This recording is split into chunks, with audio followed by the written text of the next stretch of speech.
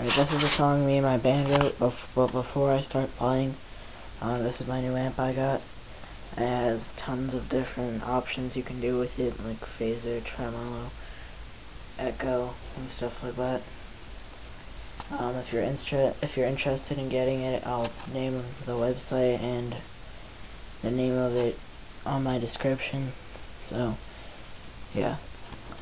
I'll play, I'll get this.